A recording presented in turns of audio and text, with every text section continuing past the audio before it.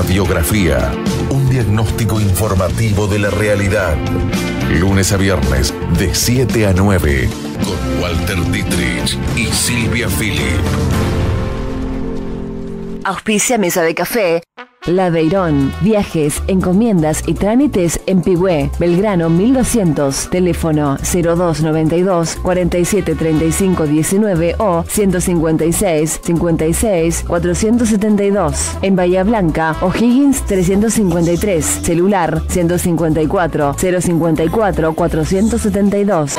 Cuatro minutos pasan de las nueve de la mañana, equipo completo hoy para la charla de café y Sandoval, como siempre, ha recuperado su puesto de cebador oficial. ¿Cómo anda? ¿Cómo le va? Buen día. Eh, pero cuando usted no estaba también, ¿eh? ¿Sí? No, no, sí, sí. Ah, sigue manteniendo el puesto de cebador Pero esta hora se enfría un poco. Sí, ¿no? Bueno, ¿cómo anda? ¿Todo, bien? Sí, todo tranquilo. Pude dormir un rato más, por fin. Eh, Estaba complicada la- el, el madrugón, el arranque en frío es complicado a la mañana, ¿no? Sí, Es un rato largo que se puede dormir más. ¿eh? sí, Sí. la verdad. Y hace falta, sí. Eh, Pero bueno, hemos regresado, todo bien. Eh, ayer, bueno, les traje el comprobante del impuesto al estúpido que me cobraron, se lo, se lo mostré a Sandoval, traje el comprobante Ah, ¿sí? de la entrada que te cobran a Puerto Iguazú, que es tremendo. Y lo que me olvidé de, come- de comentarles al aire, de- después me venía acordando, eh, descu- le descubrí otro negocio turbio al amigo Lópezito, el de los bolsos. José López. Josecito López lo tiene, el de los bolsos, la que le Sí, tiraba los bolsos a las sí, hermanitas. Sí. Bueno, le descubrí otro, otro negocio al maestro ¿Allá? en Puerto Iguazú, sí. Eh, realizamos una, una excursión ahí en el río Iguazú, que viste que está la triple frontera ahí. Sí. Una lanchita que te lleva para abajo un puente, te lleva a Uruguay, a- digo a Paraguay, perdón, a Brasil ahí. Íbamos pasando la, la, la costanera de Iguazú, muy bonita, muy cuidada. No permiten eh, ni puesto de comida ni nada para que se vea bien, todo muy lindo. Y en el medio de la costanera, un barco en el río, un barco flotando, digamos, pero un barco destruido, ¿viste? esos barcos viejos que a veces quedan en los puertos arrumbados, pero de una dimensión muy importante y realmente te mata toda la vista, ¿viste? Entonces íbamos con el de la lanchita y le digo al tipo, "Discul- disculpame, digo, ¿y ese barco, ese carromato ahí? No, si eso lo trajeron para hacer un casino flotante. Hay un casino muy grande en Iguazú y querían hacer uno flotante como el del Tigre. Ah, le digo, no, se lo trajeron en 2013. Digo, ¿y qué pasó? No, dice, ahora el dueño no va a poder. Digo, ¿quién es el dueño de.? Ah. No, ese Lópezito, el de los bolsos. el Lópezito. tipo. Lópezito, es El muy tipo, bueno Lópezito. el tipo se trajo un barco que lo compraron en Uruguay, un barco del año, del año 30. Es Sí. enorme, ¿no? La idea es hacerlo todo nuevo. Lo trajeron navegando por el Paraná, 11 días de navegación con dos remolcadores. Quizás el caballo Suárez le prestó con unos remolcadores que estaban en el Somo, no sé quién. 11 días de navegación lo, lo arrumbaron ahí. Bueno, y comenzaron todos los trámites, todo. Bueno, Lópezito entró en desgracia ahora, cambió el gobierno, el amigo lo encontraron con los bolsos y se terminó el negocio.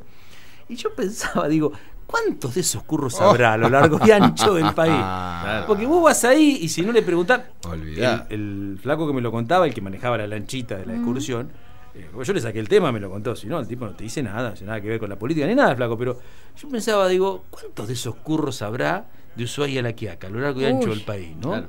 ¿Qué te Es parece? Realmente, ¿no? Y bueno, eh, me acordé ahora que veía el tema de debido. Hoy es el día de. Lo quieren eh, excluir a debido de la Cámara de Diputados. Bueno, pare- parece que no Sí, le no- parece que no no le dan los votos, pero. eh, Qué raro, la ¿eh? Estrategia, la estrategia de, de Cambiemos sería exponer a los que, eh, digamos, no van a apoyar la institución. ¿Puedo decir algo políticamente incorrecto? Sí, claro. Sí. Eh, si vos me preguntás a mí, yo creo que Debido tiene mucho que ver con las causas de corrupción. Debido tiene varios de sus secretarios procesados o presos, como el caso de López, como el caso de Jaime, que está condenado. Yo creo que tiene muchas cosas que explicar, pero yo no estoy de acuerdo con lo que están haciendo. Esto de el expulsar a Debido de la Cámara de Diputados me parece que está reñido con las normas. Marca un antecedente. No respeta, porque cuando vos, yo me, me puse a leer, porque se habla mucho, y por ahí no, No, no se habla poco, en realidad. No, no, no, no. Se habla poco de cómo realmente debería ser y qué es lo que Claro, se pero a ver. ¿qué Ah, dice Se habla la muy poco, sí. ¿Qué dice la Constitución Sí. y qué dicen los artículos? Sí. El otro día escuché una voz disidente del propio Cambiemos que fue eh, Ricardito Alfonsín. Sí. ¿eh? Él no estaba de acuerdo con esto, entonces me puse a leer los artículos, porque no es lo mismo excluir a un legislador que suspenderlo, por ejemplo. ¿Sí? Bueno, y, no es lo mismo el tema de cuando se habla de quitar los fueros. En realidad, los fueros que tienen todos los legisladores, lo que impiden es censurar su opinión e impiden el arresto.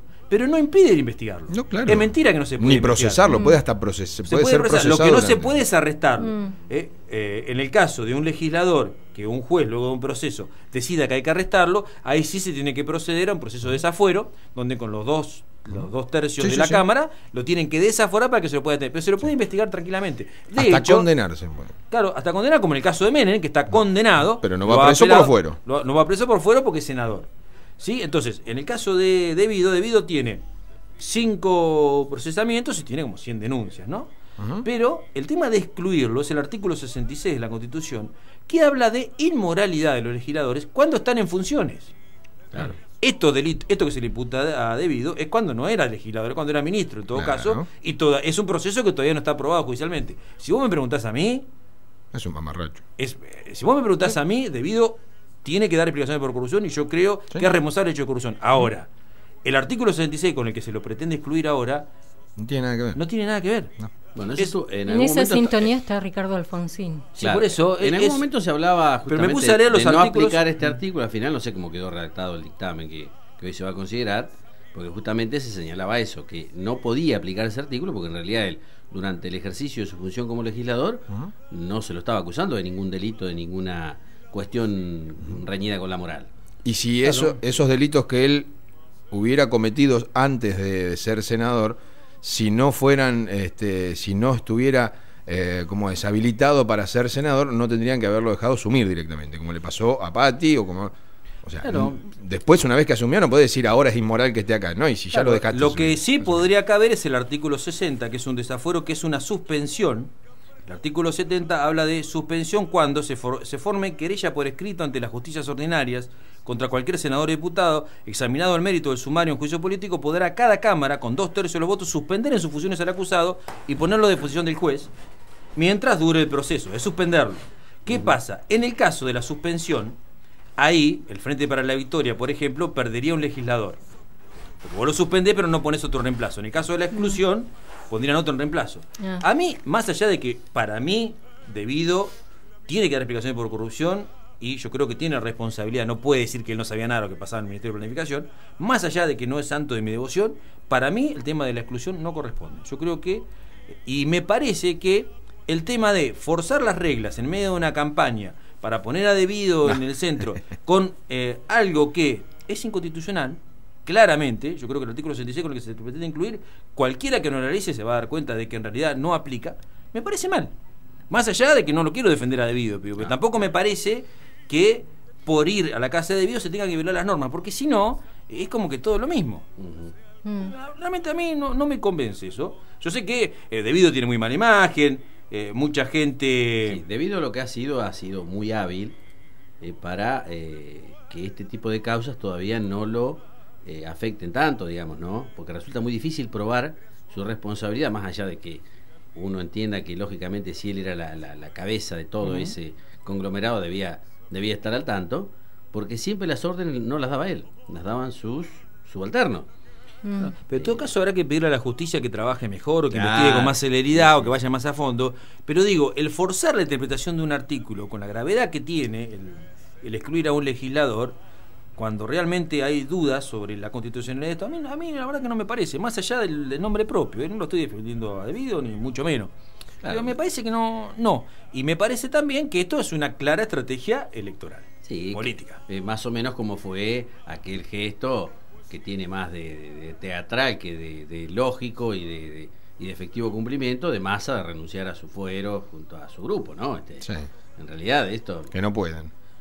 Claro, no, Claro. no, no es aplicable en, la- en No. en- en lo práctico. No, a ver, yo si creo... quisieran encarcelar hoy a, Ma- a Massa, hay que hacer el mismo procedimiento. Hay que hacer el desafuero. Hay que hacer el desafuero.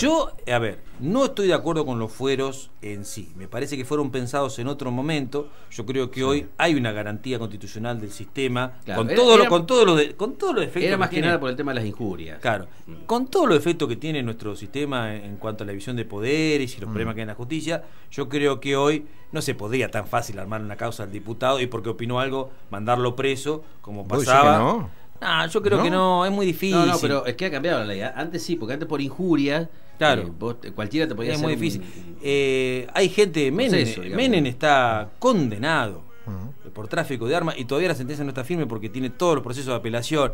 Eh, yo creo que hoy es muy difícil. Yo por eso, para mí, los fueros no tendrían que existir o en todo caso, en todo caso, modificar la ley de fueros en el sentido de que si te condenan, como en el caso de Menem, que estás condenado y agostaste toda la instancia judicial, que no hagan falta los dos tercios, que directamente, una vez que estás No, condenado, está, estás condenado, se caigan los fueros, porque si no necesitas además de la condena judicial Sí, los sí, dos tercios. Ponele que se pueda proteger el tema de la opinión, obviamente que si no un diputado por opinar algo, no lo van a meter preso. Pero digo, en este caso yo creo que el tema de la exclusión no, no corresponde, no, no, no- realmente no, no me convence. Y no me convence el generar esto que me parece tiene más que ver, insisto, con el, el contexto electoral, porque hablamos de debido, hablamos de la corrupción y por ahí se desvía el eje de la cuestión. Yo creo que tiene que avanzar la justicia como corresponde y hay que respetar la forma, porque si no, no cambiamos nada. El kirchnerismo también. La verdad que flojito de papel en cuanto a la institucionalidad. Cuando le convenía se pasaba la norma. Bueno, si queremos cambiar, cambiemos en serio, porque si no estamos haciendo lo mismo. Y, y el decir no estar de acuerdo, y tampoco el falso debate, porque el decir no estar de acuerdo con la exclusión no significa que uno apoya al corrupto. No es lo mismo. Porque cuando vos decís esta cosa, te dicen, eh, vos estás a favor de la debido y de la corrupción de los bolsos López. No, no tiene- yo quiero que se respete la norma y respete la ver, constitución. no. Alguna vez empecemos por respetar las leyes todos. Porque en este país, los que tienen que garantizar las leyes, eh, hacerlas cumplir, legislarlas, son los primeros que las incumplen o le buscan siempre la gambeta, ¿viste? Sí, siempre que- la quinta pata del gato para ver cómo la esfuerzan a su favor. Habrá que ver finalmente cuál es la argumentación, por ejemplo, de la izquierda, que ya ah, anticipó que no va a apoyar este, este dictamen, ¿no? De la exclusión de debido, eh, que me parece va un poco en el sentido, ¿no? Creo. Después veremos bien cuáles son. Eh, hablando de justicia, hoy se conoció eh, otro capítulo del fiscal Cartasegna, eh, quien tiene, tenía su cargo, está detenido, detenido no, está internado, mejor dicho, en un instituto psiquiátrico porque alegan un problema psíquico. Aparentemente, como se le viene el agua, están queriéndolo hacer pasar por loco. Pero bueno, es el fiscal que tenía, entre otras causas, entre otras irregularidades, tenía la causa de Miguel Bru que la había extraviado. Bueno, encontraron la causa. Y ahora se conoció que este señor, que tiene a su cargo la investigación del hallazgo del cuerpo, ¿sí? la causa por el asesinato, la desaparición de Miguel Blue ya está cerrada, están condenados responsables, quedaba uno con libertad condicional, que afortunadamente hace unos días fue nuevamente puesto en prisión, Justo López se llama, pero lo que tenía que investigar el fiscal es el hallazgo del. O sea, buscar el cuerpo de Miguel. Eh, la familia Rosa Jonfe, los amigos de Miguel, ven- venían denunciando hace muchos años que este señor no tenía ninguna intención de avanzar en la causa. Cuando lo empezaron a investigar por una serie enorme de irregularidades en su fiscalía, descubrieron que había extraviado el expediente, este- el expediente más grande que tiene a su cargo, porque comenzó en el año 93, lo había perdido. Y ahora salta que este señor tenía una causa paralela, o sea, una causa trucha, como un duplicado de la causa, donde recibía denuncias pero no las hacía constar en el, en el expediente principal. Es como anotarlo en un cuadernito que no tiene ninguna Sí. validez. Esto se eh, descubrió como eh, alguien que se llama Mario Gianotti, que fue secretario de Derechos Humanos de la Municipalidad de La Plata, declaró que él fue ante el fiscal Cartasegna y eh, declaró eh, la identidad de dos testigos que con, con varios años de, mm, de distancia y sin conocerse entre sí le dieron una versión similar al respecto de que Justo López, el, el policía que está detenido acusado de ser uno de los homicidas de Miguel Bru, esa noche la desaparición había estado realizando un contrapiso a las 4 de la mañana, ¿sí? Y aportó también la declaración de un detenido que compartió detención con Justo López. Asegura este detenido que una noche que consumieron pajarito, que es una especie de droga tumbera que se hace, López se desinhibió y le dijo que no lo iban a encontrar nunca más a Miguel y que lo habían enterrado en un tambor de cemento, dio los lugares y todo. Y por dos o tres lugares diferentes le llegó la misma versión a este señor que se llama Mario Gianotti, y él dice que se presentó en la fiscalía y contó todo lo los datos que había recabado para que se investigara, se fuera a esos lugares, hiciera la requisa y demás. No solamente no se hizo nada, sino que los, los testigos, que se, se debía reservar la identidad, empezaron a ser amenazados. Luego de que este señor realizó la denuncia, por lo cual claramente se ha filtrado su identidad. Y esto no consta en la causa principal. Es decir, otra irregularidad enorme. Qué terrible, ¿no? Digo, este. No se llega nunca. es Claro, qué, qué terrible, qué, qué indefenso se, se encuentra el ciudadano con esta justicia así, ¿no? No, no, es realmente. No te defiende nadie, Walter. este. Bueno, y hay que ver, Mm. hay que ver eh, también porque esto lo ha denunciado eh, la familia de, de Miguel Bru sin hacer cargo, porque claro, los años pasan, pero la corporación policial, por eso también a Vidal le va a costar tanto y le está costando tanto esto. Son siempre los mismos, son todo el mismo barrio. Quien hoy es el titular de la Policía Bonaerense, Fabián Perroni, en aquel momento no estuvo directamente implicado la noche que lo, lo detienen, lo torturan y lo asesinan a Miguel Bruna en la comisaría novena, pero trabajaba en esa comisaría. Formaba parte del personal de esa dependencia. Hoy es jefe de la policía. Entonces, todo se va entremezclando y, por ejemplo, se ha pedido que este señor, ahora que es jefe de la policía, que a ver que diga, a ver qué escuchó, si sabe algo. Es rarísimo que estando en la misma comisaría no sepa No sepa absolutamente nada, Bueno, y digamos, estos datos que han ido apareciendo, hay toda una trama de encubrimiento que ahora salta eh, con el caso de este fiscal que, bueno, hay que ver eh, cómo le va, yo creo que está realmente muy complicado porque, eh, digamos, por ahí trasciende las irregularidades que ha cometido con la causa Bru y nosotros le damos un poquito más de relevancia porque tiene que ver por ahí más cercano a nosotros, pero de este tipo de anormalidades hay un montón en las causas que tramitó. Realmente eh, llamativo, esto se publicó hoy en el diario El Día de la Plata. Eh, qué difícil va a ser, como decías vos, ¿no? Hacer, eh, digamos, renovar esto, porque le- la estructura en sí está muy, muy dañada eh, por, por todo esto, ¿no? Eh, digamos, uno parece que va a ser una tarea titánica, ¿no? Poder. Y la clave acá va a ser, eh, en los casos emblemáticos tiene que haber una respuesta contundente de parte del Estado, no solamente el apartar al policía sindicado por alguna denuncia, ahora que se generó esta aplicación y lo que fuera, sino que tiene que haber un correlato judicial durísimo y, y tiene que haber un respaldo enorme a quien se anima a denunciar. Yo el otro día pensaba, ¿qué va a ser del futuro de este policía que filmó a la DDI de Ah, Lanús, sí. donde tenía la droga guardada y le, le acercó la denuncia a Ritondo? Mm. Productor de televisión va a ser, si fueron los que estuvieron en la producción de la nota del Polaquito. Los mismos. Son lo mismo. Claro, hay que ver Son esto también, ¿no? ¿Qué pasa con este tipo de Son cuestiones? lo mismo, ese auto que se ve en la nota donde está apoyada una persona y se ve la patente, la buscaron y es de los policías de esa, de esa dependencia, de donde se encontró la droga. Claro, pero digo, Quien a ver, armaba las notas, digo, van a terminar productores de televisión, total, le arman una nota o te arman causas o... bueno, en este caso hay que ver si eso tiene, tiene algún asidero, si, si es así, ¿no? Mm. A ver, que una una DDI dedicada al tema del narcotráfico tenga droga, venda droga o plante causa, no me llama la atención para nada. No, no, claro. Ahora, No, no. este señor, yo este dato que da Pablo no lo sabía. Si Sí. esto viene por ahí, tiene mucha pinta que es algo armado para generar buena prensa, me da toda la sensación. Pero si no fuera así, digo, la persona que denuncia, o este caso que conocimos cuando se lanzó la aplicación, la primera denuncia fue un vecino Coronel Suárez que envió a la, la aplicación por el celular, envió una denuncia sobre un mal desempeño de un funcionario policial de Coronel Suárez. Bueno, tiene que pasar el algo tema es qué pasa, claro, de ahí en adelante. Claro. No te puede pasar como este señor que fue a decir, mirá, tantos años después, yo me enteré de lo que pasó con Miguel Bru y que al tipo, eh, lo, lo amenacen al testigo, que el fiscal truche la causa, que los policías sigan. El tema es qué pasa después. Claro. Porque si no hay una, una decisión política clara, clara y eficiente, va a ser muy difícil porque la gente va. ¿Qué terminas creyendo? Y no te metas. Que no, Sí, no claro. pasa nada. Es, lo sí, al mi- final. es lo mismo que el tema de la corrupción en la política. Digo, todo este ruido que se ha hecho Sí. respecto a las causas, sobre todo con el kirchnerismo, eh, alguna vez deberían terminar con alguna condena bien fundada, digamos, un- digamos una cosa bien Claro, hecha. claro. Tienen que terminar con alguna condena, porque si no, dentro de un tiempo va a decir, y viste. En Bueno, definitiva, eh, no pasa claro, nada. no pasa nada. López, sí, sí. López tira bolsos con plata y... y- Bueno, está detenido, y hoy- pero tiene que y- tener alguna condena. Claro. Y, y algo, cuando, sigamos eso- adelante, porque si no... y cua- no, pero pará, cuando le preguntaron, che, ¿y esos millones de los bolsos? ¿Dónde salió? "Eh, vienen de la política, dijo. Sí. Y no dijo más nada. eh, o sea, amenazó con prenderle el ventilador y hasta ahí llegamos. Listo. Eh, Pero además de López, de los bolsos, de la monja y de lo folclórico y que Sí. vemos a uno de las imágenes y nos causa hasta gracia, yo quiero saber dónde vino esa plata. Claro. Quiero saber de dónde Sí, vino. ¿Quién la, reci- quién la quién recibió y quién la Nisman, pagó? ¿eh? ¿Y quién la pagó? Claro. ¿Quién la recibió y quién la pagó? ¿Cómo? Digo ¿Quién- que también queremos saber qué, qué pasó con Nisman. Bueno, claro, Claro, sí, son ver, cosas que Apareció quedaron. muerto un, fi- un fiscal de la nación. queda. y quedó. Ya está. Ya ni se habla más del caso Nisman. No, no, Ahora, ¿qué pasó con.?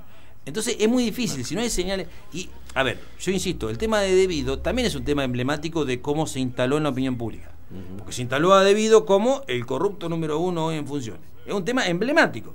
Ahora, si lo vas a condenar a debido, condenalo bien y no busques la gambeta, las normas para excluirlo ahora en la Cámara de Diputados. Hacelo bien, como si tenemos que saber qué pasó con Nisma y tiene que ser claro, no tiene que ser con perejil, con testigo plantado, con Bernie entrando a la cena de Kirchner. Tiene una cosa No, no, no, algo bien concreto. hecha, porque si no nos pasa en este país, no creemos, es una cuestión de fe. Todavía seguimos pensando que Yabrán está vivo.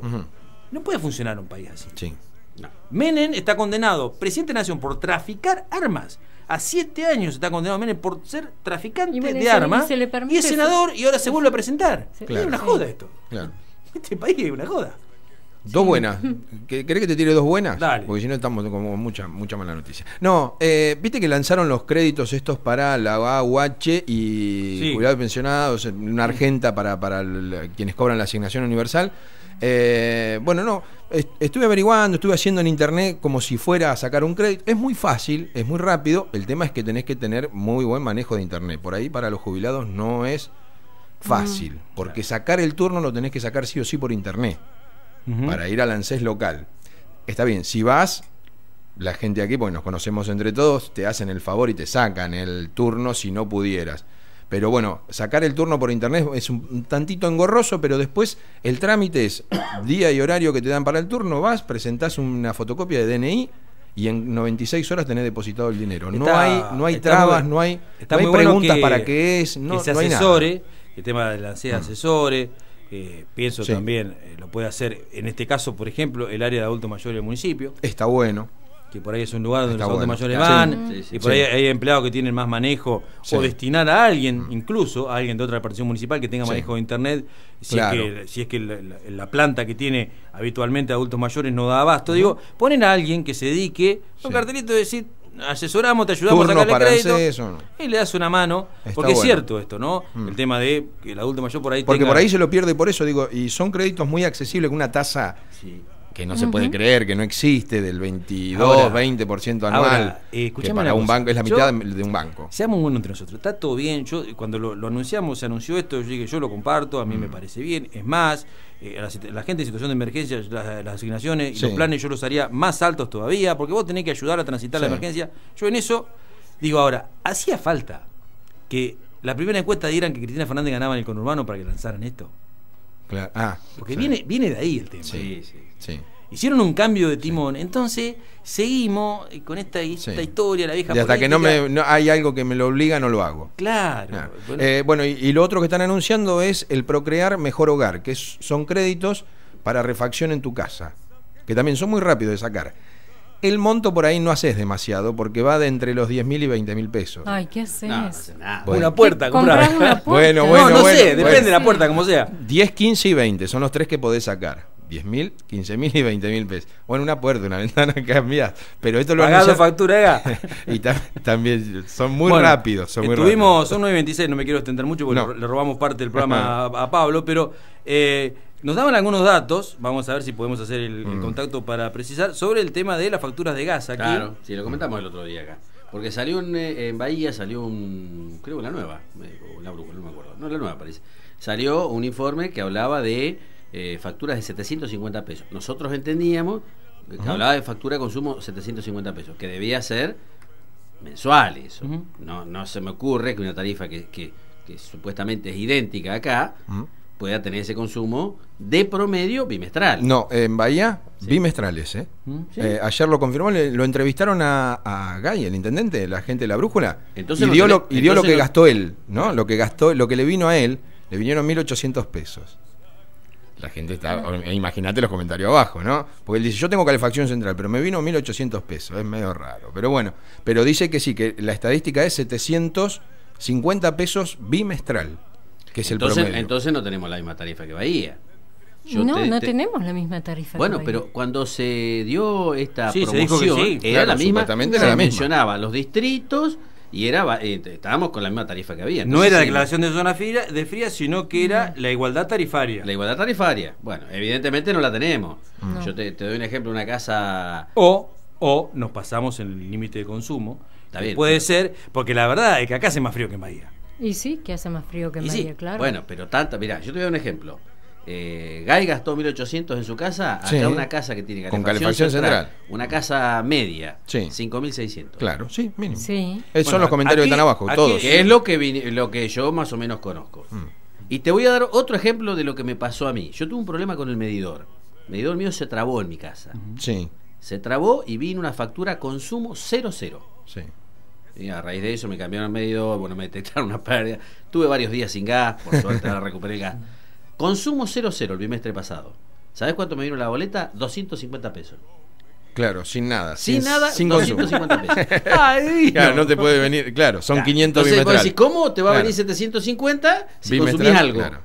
No, no, 00, sí, no. 250 pesos. Bueno, Eh, y la otra, eh, parece que si gana la gente de un país vamos a tener el distrito amigo de la bicicleta. ¿Usted es amigo de la bicicleta, Silvia? Es amiga de la bicicleta. Sí. Yo a veces, no tanto, no, No, sé, usted no lo ve, no lo veo. No amigo. ando mucho en bicicleta. Tengo mi sobrina que anda en bicicleta y yo la acompaño Yo para ir claro. No, yo le decía, está muy bien la, la idea de generar el tema de la bicicleta. eh, Le hacía la chanza que es bastante pro eso, porque viste que en Buenos Aires, Sí. bueno, en La Plata también, en las plazas hay, incluso hay bicicletas públicas que vos agarrás. Está genial. Ahora, pro, sí. acá lo que van a tener que generar es un espacio para poder usar la bicicleta. Claro, bicicenta. Claro, porque entre los adoquines, el tránsito, la camioneta, es, que las calles son muy angostas acá también, ¿eh? No hay pos- posibilidad, Posibilidad de hacer una- hacer una No, mucho. pero ciclovía, bueno, ¿no? pero vos te acordás yo, que- yo te doy una idea. Yo te Una doy ciclovía, idea. no, no. Avenida Casey. En la Rambla, en alguna de las dos manos, se puede hacer una bicicenda. sí. Sí. Sí, se puede. Sí, incluso- ahí ahí No sé tranquilamente que- puedes hacer una bicicenda. Se puede sacar la rambla, se puede sacar los No, pero ponele que no quieras sacar puede la rambla, pero una de las veredas la Mm. podés utilizar Sí, tranquilamente para incluso si vos la haces la subida y la bajada, hasta delimitándola sin, sin ponerle cemento a todo, hasta marcándola, de- de- delimitándola, en algún momento se había hablado de la posibilidad de hacerlo en las ramblas. La rambla de Avenida Mitre, incluso, que Claro. abajo tiene. Claro. Eh, tenés que tener cuidado, ponete casco por los tordos. Sobre todo. no, está Ay, tremendo. sí. No, la de la Mitre, la de la Eso Mitre sí, va a ser ¿eh? complicada, sí. sí, la de la Mitre. No, Mitre y Casey. No, digo, pero En- ir, en en todo la por la Mitre. En la Casey, eh, el año pasado, cuando talaron las plantas de la, de la. Mitre, los tordos empezaron a venir hacia las palmeras de la, de la Sí. Casey, sobre todo ahí frente a los Girolmini, por Mm. ahí. Sí. Ahí es terrible, terrible. Sí, una mugre. No deje el auto abajo. Y si ve los pajaritos, ni se te ocurra pasar por abajo porque salís blanco. eh. Bueno, eso estaría No, bueno, terrible, eso estaría bueno, estaría bueno presentárselo a, a la gente, ¿no? Para que pueda, digo, no, no en una encuesta así ni, ni radial ni televisiva, digo, hacer un- una, una encuesta real de dónde estaría bueno ubicar una bicisenda y qué estaría bueno hacer con los adoquines. Habría que preguntarlo. Bueno, mucho se habla del tema medioambiental, pero la verdad es que en este sentido hace varios años que se hace bastante poco, ¿no? Sí. Eh, hablamos del tema de la clasificación de residuos, que parece a veces una farsa más que una clasificación en serio. Mm. ¿eh? Del momento que vos traes camiones compactadores, no me vengas a mí con que eso después lo podés, lo podés seleccionar. Es mentira, es mentira. Pero bueno. Eh, y después, de esta misma manera, bueno, este proyecto que está ahí, del tema la sabés que el tema de los, adoquines, Hace hay, hay un error, porque mucha gente piensa que los Sí. adoquines de Pigüé están declarados patrimonio histórico y no se pueden sacar. Y es mentira. No, no, no, mentira, no. No se declaró nunca. Patrimonio cultural. No, no, no se declaró nunca. ¿No? Eso lo presentó, lo estoy Bros. diciendo de memoria, lo presentó el concejal Jorge Bros. Jorge Bros, sí. ¿Sí? De acuerdo. Y por lo que yo recuerdo, si alguien nos está escuchando que me corrija, por lo que yo recuerdo, eso no, no pasó en el Consejo Liberante. Tenía un problema. Cada vez que vos tenías que levantar adoquines para hacer un cruce de calle, Sí, claro. Si lo declarás, que- tenés que hacer claro, todo un entonces, permiso. Bueno, eso quedó en la nada. Lo que nadie se animó a sacar los adoquines o, o- o taparlos o lo que sea por una cuestión cultural, de la historia de Pigüe y demás, Sí. pero no está declarado. Ah, el patrimonio histórico como querés guardar algo cultural histórico, hacelo en dos cuadras de enfrente de la municipalidad. Pero claro, y ya está. yo- está bien. Pero después dejemos de romper autos, por favor. No, y emparejalos. Claro. O. Porque los adoquines en otros lugares, yo eh, voy mucho a La Plata, tiene mucho Mm. adoquín, pero están lisitos, están parejos, podés andar a una velocidad normal. Acá rompes todo. Sí. Sí, acá hubo, al inicio de esta gestión, hubo eh, una iniciativa de algunas calles, las arreglaron, ¿eh? Que, que mejoraron bastante. el- el- re el- Sí, y algunas se les hundieron porque tuvieron que hacer acomodos y se van. Bueno, Tenés que sacarlos, Es una tarea que hay numerarlos, que hacer. hay que sacarlos, numerarlos. El problema fundamental que tiene, yo me acuerdo una vez que hablé con alguien que había venido a hacer un estudio, finalmente creo que era en la época de Madrid, te pasó un presupuesto y era recontra caro, no le dieron demasiada bolilla. Lo que decía que en realidad el problema es que el sedimento de los adoquines es de arena. Claro. lo que se puso como de, de- de cimiento, no sé cómo Sí. decirlo. En el tema de la casera, aparentemente el problema es que todo el riego y todo el agua y demás, lo que va cayendo entre los adoquines hace que Decanta y Vaya, se- decanta y se- por eso se va cediendo y se va hundiendo tanto. Es bastante complejo de solucionar. Es un tema para. Digo, pero Sí. es un tema que sería bueno conocer. Pero nadie se anima. ¿eh? La a opinión de la plantearlo. gente. A ver, no, no, Como el tema, por ejemplo, aquí No. estaba viendo la gente de un país propone un centro cultural en Alcina, en el edificio ahí. Sí, de- Bueno, sí. ¿y por qué no preguntarle a la gente si eso es un patrimonio municipal? Con algún método Sí. fehaciente, a ver, la gente ¿qué quiere hacer en ese lugar? ¿Qué? ¿Qué? No se puede. Eh, Eso del centro cultural, lo vengo escuchando. Bueno, bueno, pero, hace pero saber qué quiere la gente. Ah, no, pero por ahí- Porque porque lo iban a hacer los terrenos de ferrocarril, Sí, los sí, galpones sí. de ferrocarril. Pero Eso qué- lo qué- anunció qué Grenada en el 99. Lo anunció debido en la última campaña. La Sí. hora que vino se paró ahí una noche que dijo acá vamos a hacer. Y bueno, y se sigue anunciando ahora. Bueno, Veremos. Bueno, perdón, este es un país que. en- Se podría. Granada no está ahí, ¿no? Sí, sí, está Ah, sí, candidato. está. Bueno, pero el proyecto lo sigue teniendo en carpeta. Bicicenda techada, me dice. Falta que en cualquier momento aparezca la pileta, la pileta climatizada. No, en esta no la van a nombrar. Bicicenda techada, me dicen para la Mitre. Ah, claro, para Eh, evitar el tema de bueno. Bueno, 9.33 Sí, nos vamos. Después bueno. de, de la acotación de todo negativo Sandoval, eh, nos vamos. Nos vamos. Bueno. Sí. Si de viajar se trata, elegí la Beirón. Servicio diario puerta a puerta a Bahía Blanca. Modernas unidades totalmente equipadas y habilitadas, garantizando seguridad, confort y puntualidad. Un servicio a su servicio. En Pigüé, hace tu reserva al 02923 47 35 19. Celular 02923 15 641 370 o 15 656 47 20. Belgrano 1200. En Bahía Blanca al 0291 15 405 44 72 o en O'Higgins 353. La Beirón, la mejor manera de viajar.